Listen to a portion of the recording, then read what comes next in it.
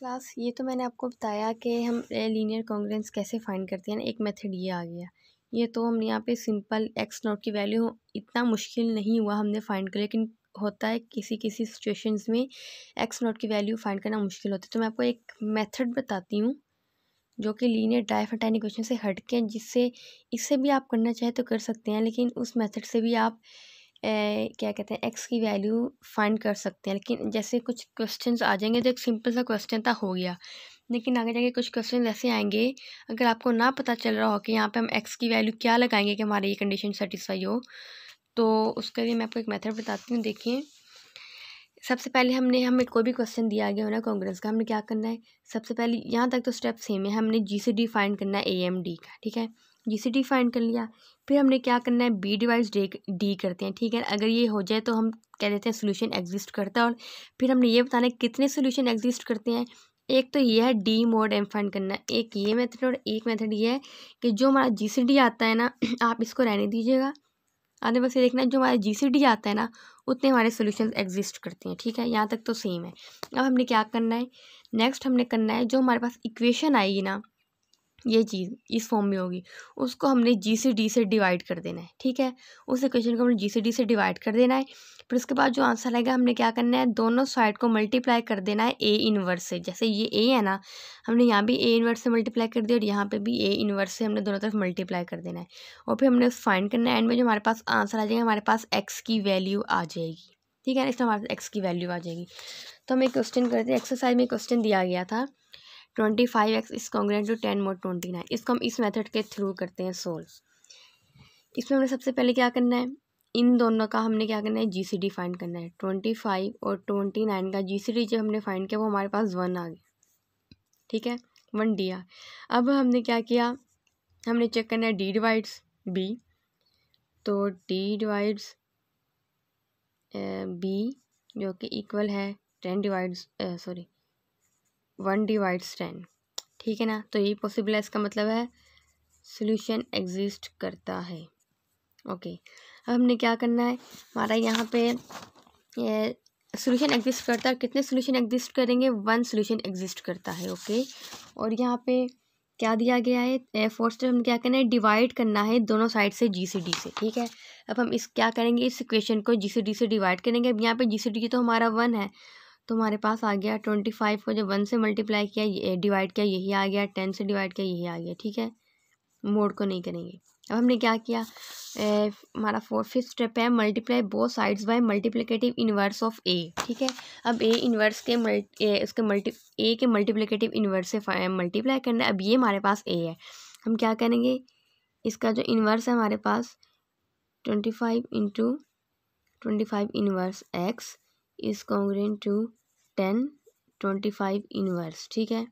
और ये मोड आ गया ट्वेंटी नाइन अब ये twenty five twenty five inverse cancel हो गया तो हमारे पास एक्स आ गया। X is congruent to ten into twenty five inverse mod twenty nine ठीक है? अब हमने ये फाइंड करना है। अब देखें इसको, ये जो चीज़ है twenty five inverse mod twenty nine, इस चीज़ को हम कैसे फाइंड करते हैं इनवर्स को? हमने फाइंड करना है, हमने इस इन्वर्स की वैल्यू फाइंड करनी है, ठीक है ना? ट्वेंटी फाइव इन्वर्स की वैल्यू फाइंड करनी है, फिर हमारे पास एक फॉर्म आ जाएगी, उससे हम एक्स की वैल्यू फाइंड कर सकेंगे। तो एक नया, एक नई चीज़ देखें, यहाँ पे क्या है, एक मेथड है। हमें ट्वेंटी फाइव इन्वर्स दिया गया तो मीन्स हम पहले इसको ऐसे लिखते हैं, ट्वेंटी फाइव, यहाँ पर हम ले लेते हैं सी, मैंने लिया।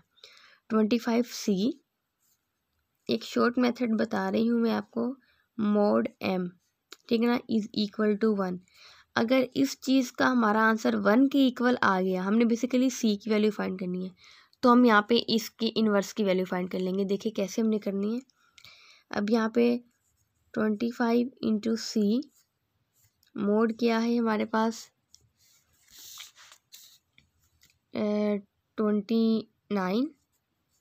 Is equal to one. ठीक है ना? अब हमने यहाँ पे सी की ऐसी वैल्यू क्या रखनी है कि ट्वेंटी फाइव और फिर जो आंसर है मोर ट्वेंटी नाइन हमारे पास वन की इक्वल है अब मैं यहाँ पे सी की डिफरेंट वैल्यूज़ रख के देखती हूँ, ये देखिए।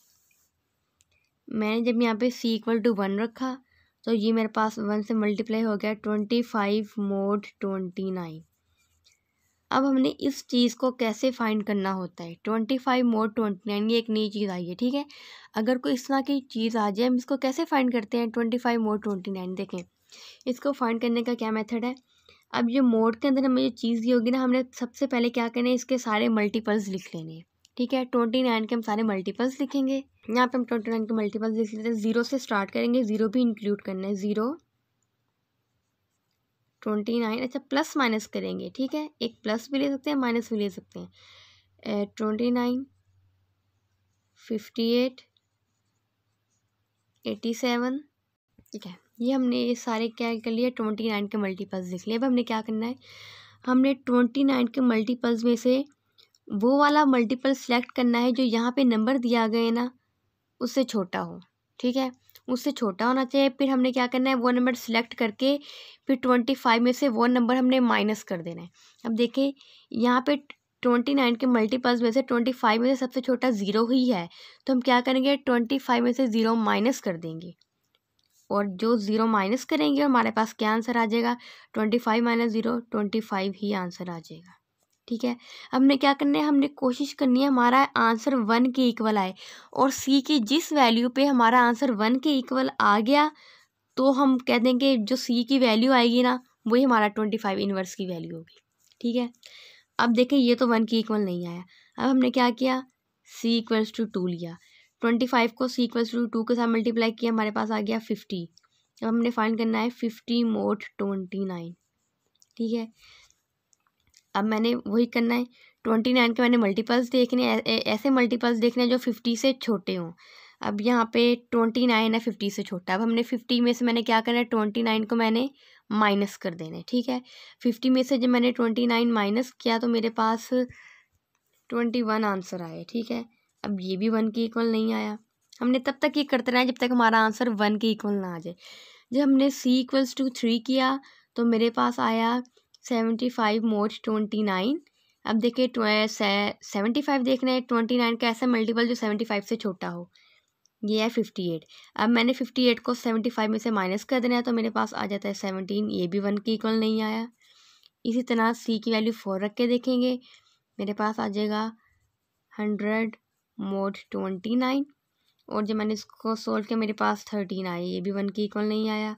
फिर मैंने सी की वैल्यू फाइव रखी, मेरे पास ये आया one twenty five mod twenty nine और ये भी मेरे पास वन के इक्वल नहीं आ रहा इसका आंसर सी इक्वल्स टू जब मैंने सिक्स रखा तो वन फिफ्टी आया मोड ट्वेंटी नाइन इसका आंसर आया फाइव ये भी वन के इक्वल नहीं आया. जब मैंने सी इक्वल्स टू सेवन किया one seventy five mod twenty nine अब मैंने ऐसा देखना है जो वन सेवेंटी फाइव से छोटा हो। One seventy four, one seventy five से छोटा है। वन सेवेंटी फाइव से जब मैंने वन सेवेंटी फोर को माइनस किया तो मेरे पास आंसर आ गया वन। यहाँ पे मेरा इक्वल आ गया है वन के। जब क्या वैल्यू होगी? जब सी इक्वल्स टू सेवन होगा। तो यहाँ से हमने किया ट्वेंटी फाइव इनवर्स किसके इक्वल आया है? सेवन के। मैंने यहाँ पे इसकी वैल्यू पुट कर देनी है। एक्स इज़ कॉन्ग्रेंट टू मैंने लिख दिया ten into seven mod twenty nine. मैं इसको इक्वल कर दूँगी। X equals ten seven or seventy mod twenty nine. अब मैंने फिर इसकी वैल्यू फाइंड करनी है सेवेंटी मोड ट्वेंटी नाइन। अब ट्वेंटी नाइन का वो मल्टीपल जो सेवेंटी से छोटा हो, वो फाइंड करना है, फिर उस मल्टीपल को सेवेंटी से माइनस कर देंगे। सेवेंटी से छोटा है फिफ्टी एट अब मैंने सेवेंटी में से फिफ्टी एट माइनस किया तो मेरे पास क्या आंसर आ गया? ट्वेल्व तो ये एक ही सोल्यूशन एग्जिस्ट करता था, क्योंकि इसका जी सी डी वन आया था। तो ये इस इक्वेशन का हमारे पास आंसर आ गया इसका सोल्यूशन आ गया है एक्स नोट ठीक है? और बुक में भी हमारे पास ये ट्वेल्व ही आंसर दिया गया है। आपने ये बाकी क्वेश्चन हैं इसी तरीके से आपने सोल्व करने मैंने आपको ये फाइंड ये स्टेप्स आपने इनको फॉलो करना है, ठीक है? ये जो स्टेप्स हो गए, आपने इनको फॉलो करना है। और फिर यहाँ पे तो मेरे पास एक सोल्यूशन आया और मैं आपको पहले बता चुकी हूँ, अगर एक से ज़्यादा सोल्यूशन आए, जैसे मैंने आपको पहले क्वेश्चन कराया था, हम ये फार्मूला लगा के और उसके सोल्यूशन फाइंड कर लेंगे, ठीक है?